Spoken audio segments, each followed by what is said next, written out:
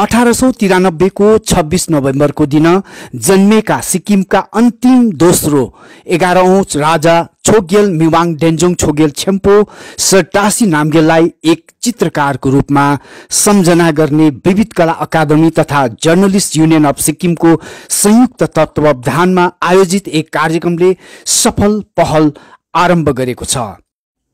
तीन सय तेत्तिस वर्ष नामगेल वंशले शासन गरेका थिए जसमा उन्नाइस सय पचहत्तरमा भारतसँग सिक्किम विलय पश्चात छोगेल शासनको बाह्रौं राजा पिटी नामगेल पनि राजगद्दी त्याग गर्न परेको थियो। एउटा आँखा कृत्रिम भएकोले सटासी नामगेललाई कानो राजा पनि भनिन्थ्यो। तर उनको चित्रकारिताप्रति अत्यधिक लगाव भएको अनि सिक्किमको ल्यान्डस्केपहरू उनले आफ्नो क्यानभसमा उतार्थिए उनले उन्नाइस सौ चौधदेखि उन्नाइस सौ त्रिसठसम्म शासन गरे। सहरको रन्देबु होटलमा आयोजित उनको जन्म दिवसको अवसरमा छोगेल शासनका प्रजाका रूपमा साक्षी बनेका स्थानीय व्यापारीहरू समेत विद्यार्थीहरूको पनि उपस्थिति थियो। सर टासी नामगेलको तस्बिरमा खादार्पण तथा दीप प्रज्वलनका साथमा कार्यक्रमको शुभारम्भ भएको थियो। कला अकादमीका अध्यक्ष किरण रसाइलीले आफ्नो सम्बोधनको क्रममा सर टाँसी नामगेल एक शासकको रूपमा धेरै विकासीय कार्य गरे तापनि उनी चित्र सिर्जनाको क्षेत्रमा मर्मागिर तथा स्वयं चित्रकार भएकाले त्यस्ताको सिक्किम कला साहित्य एवं सङ्गीत सिर्जनाको स्वर्णिम समय रहेको बताए। उनले सो विरासतको बिडो थाम्ने उद्देश्यलाई सदैव सम्झना गर्नुपर्ने आवश्यकता माथि पनि जोड दिएका छन्।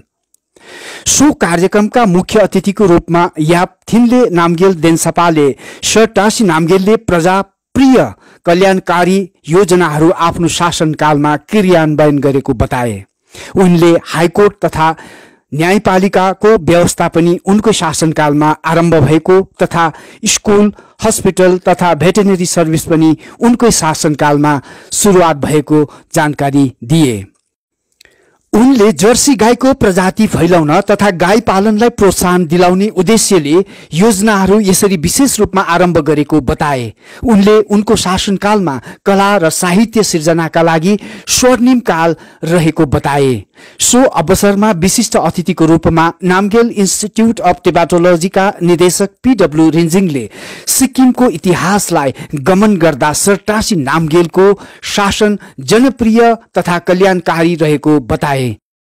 उन्नाइस सय एकाउन्नमा तत्कालीन शासनको कठोर जमिनदारी प्रथा अर्थात् ल्यान्ड लर्डसिपलाई हटाइएको बताए। यसरी नै सोही वर्ष ल्यान्ड सर्वे प्रथमपल्ट सिक्किममा गरिएको जानकारी दिए। उन्नाइस सौ उन्सठदेखि उन्नाइस सौ चौसठसम्म सिक्किममा पाँच वर्षीय योजनाको पनि आरम्भ उनकै शासनकालमा भएको बताए। ग्रामीण स्तरमा कचरीको स्थापना पनि उनको शासनकालमा भएको जानकारी गराए। पत्रकार प्रवीण खालिङले सर टाँसी नामगेलको जीवनीमा प्रकाश पार्दै उनको चित्रकारी पक्षबारे जानकारी दिए। उन्नाइस सौ तेइसमा दार्जिलिङ तथा सिक्किम घुम्न आएका रसियाली चित्रकार निकोलस रोलेपले यहाँका ल्यान्डस्केपमाथि चित्रहरू बनाएका थिए तथा उनको चित्रहरूबाट सरटासी नामगेल अभिप्रेरित भएको जानकारी गराए। उनको कला तथा सङ्गीत प्रतिको योगदानलाई मूल्याङ्कन गर्दै राज्यको स्कुलहरूमा पाठ्यक्रममा अन्तर्भुक्त गर्नु आवश्यकतामाथि जोड दिएका छन्। सो कार्यक्रममा सहरका प्रचलित केमिस्ट रमेश पेरिवलले सर टाँसी नामगेलको शासनमा ब्याङ्क आरम्भ भएको तथा सहरको आवश्यकतालाई बुझेर व्यापारीसँगै मुस्लिम बस्तीहरू बसाएको पनि जानकारी गरे।